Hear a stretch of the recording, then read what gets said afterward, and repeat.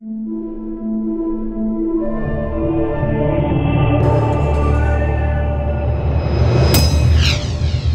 following program deals with a controversial subject. The theories expressed are not the only possible interpretation. Viewers are invited to make a judgment based on all available information.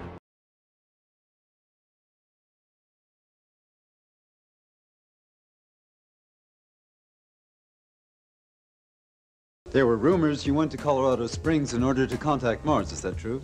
It is possible for us to send out waves which can travel around the world.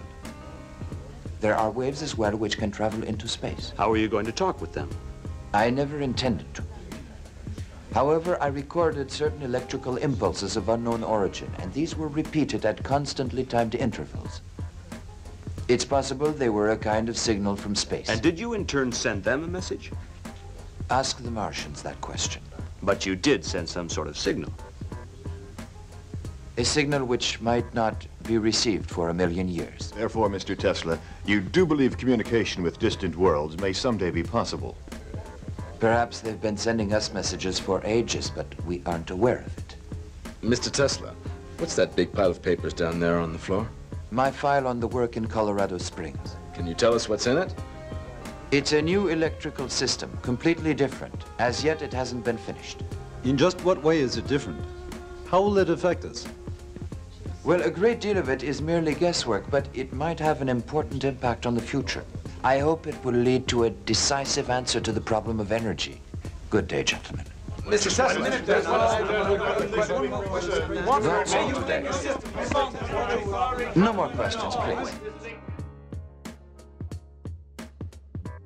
In 1931, Tesla announced to reporters at a press conference that he was on the verge of discovering an entirely new source of energy.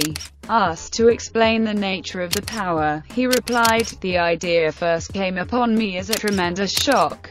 I can only say at this time that it will come from an entirely new and unsuspected source. Gentlemen, I can make no guarantees other than my discoveries. I am not an insurance company. You must take my word. You will have to rely on instinct, intuition, and imagination. Spore clouds were again darkening Europe. On the 11th of July 1934 the headline on the front page of the New York Times read, Tesla, at 78.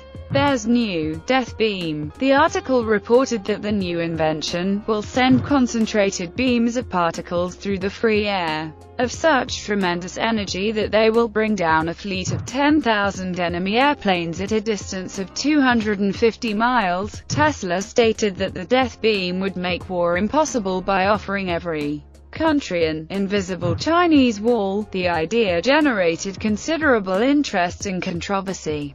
Tesla went immediately to J.P. Morgan, Jr. in search of financing to build a prototype of his invention. Morgan was unconvinced. Tesla also attempted to deal directly with Prime Minister Neville Chamberlain of Great Britain, but when Chamberlain resigned upon discovering that he had been outmaneuvered by Hitler at Munich, interest in Tesla's anti-war weapon eventually collapsed. By 1937 it was clear that war would soon break out in Europe.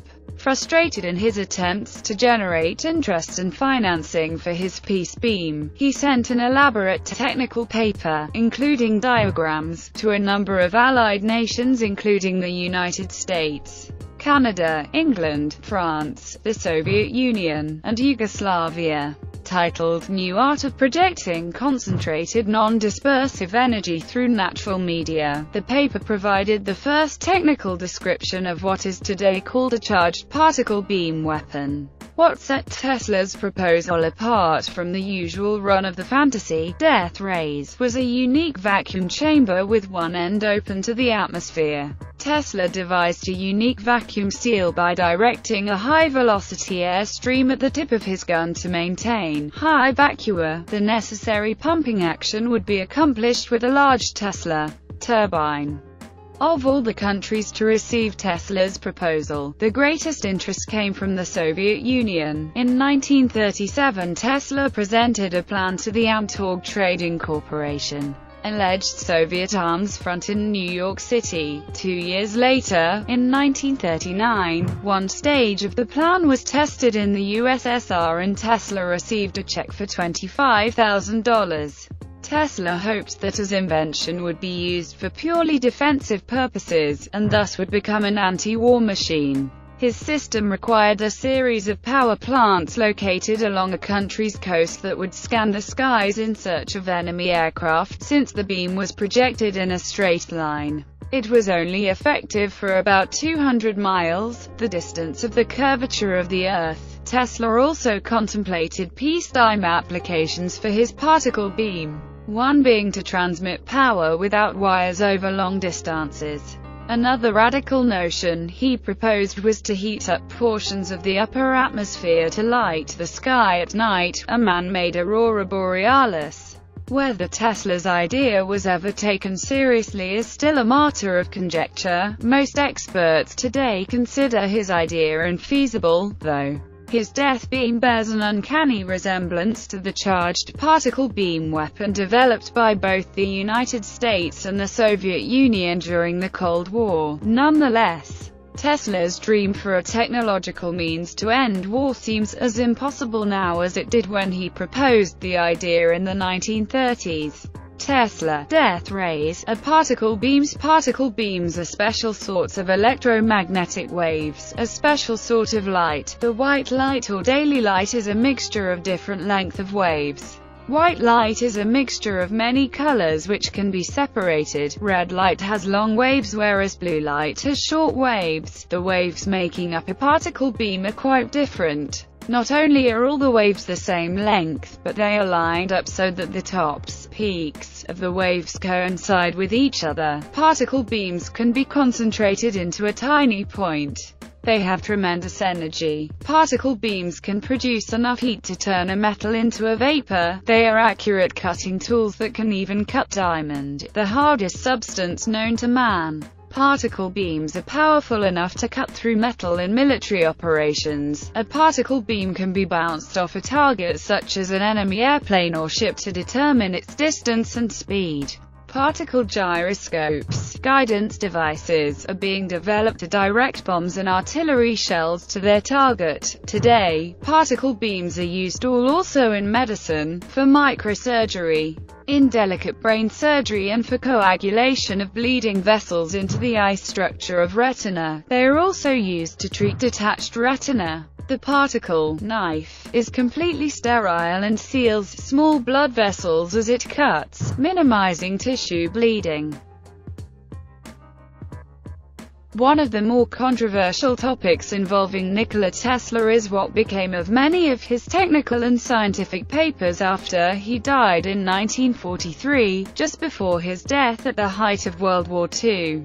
He claimed that he had perfected his so-called death beam, so it was natural that the FBI and other U.S. government agencies would be interested in any scientific ideas involving weaponry. Some were concerned that Tesla's papers might fall into the hands of the Axis powers or the Soviets. The morning after the inventor's death, his nephew Sava Kosanovich hurried to his uncle's room at the Hotel New Yorker. He was an up-and-coming Yugoslav official with suspected connections to the Communist Party in his country. By the time he arrived, Tesla's body had already been removed, and Kosanovich suspected that someone had already gone through his uncle's effects. Technical papers were missing as well as a black notebook he knew Tesla kept, a notebook with several hundred pages, some of which remarked, government.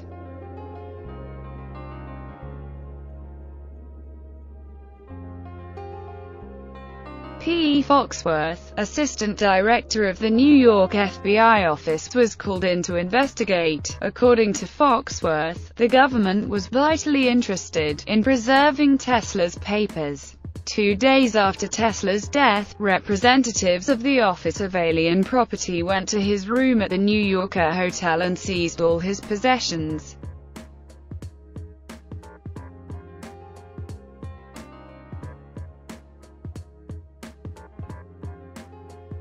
For many years scientists and researchers have sought for Tesla's missing papers with no apparent success. It is conceivable that if Nikola Tesla knew a means for accurately projecting lethal beams of energy through the atmosphere, he may have taken it to the grave with him.